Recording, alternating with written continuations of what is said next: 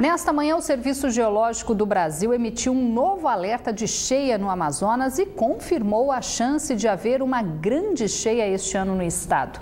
De acordo com a Defesa Civil, 13 municípios já estão em situação de emergência e um estado de calamidade.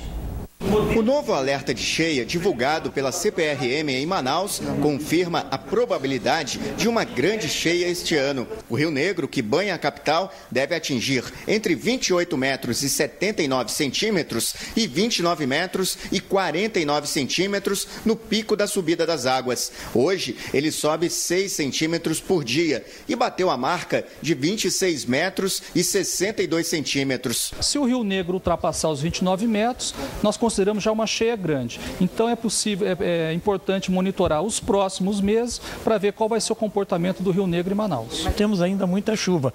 Os meses de março e abril são os meses mais chuvosos aqui na região e com a chegada da zona de convergência tropical, a expectativa é de muita chuva, pelo menos nesses próximos 40, 50 dias. A Defesa Civil do Estado fez um balanço sobre a situação da cheia no interior. Nesta segunda-feira, 13 municípios estão em situação de emergência. O Maitá está em calamidade pública. As equipes avaliaram e estudam reconhecer emergência também nas cidades de Tapauá e Eirunepé. 18 mil famílias foram atingidas pela subida dos rios este ano no Amazonas. As autoridades estão se prevenindo para atuar nas cidades do Baixo Amazonas, que devem sofrer com alagações nas próximas semanas. É uma preocupação já muito grande. Nós já estamos montando dois centros de logística de atendimento já em Itacoatiara, em Parintins, justamente para se antecipar a resposta à população. No, no, na região amazônica não é igual nos Estados Unidos ou Austrália, as pessoas são evacuadas em tempo hábil. Né?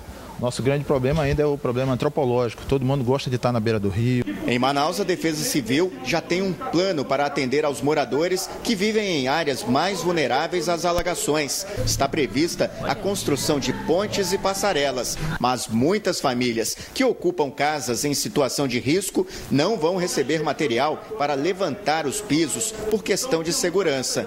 Já foi feito também um, um trabalho de conscientização dos moradores, porque as estruturas das casas elas estão deterioradas pela ação do tempo, as pontes também.